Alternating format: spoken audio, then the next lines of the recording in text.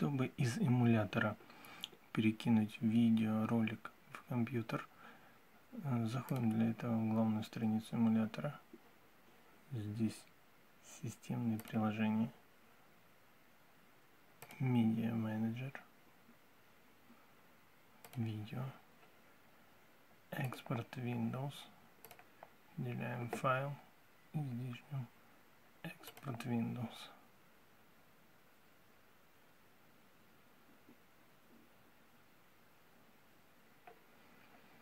Появляется меню, где выбираем, куда нам сбросить файл, сохранить.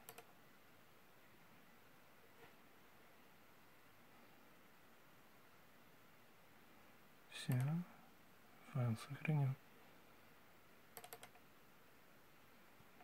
Все отлично.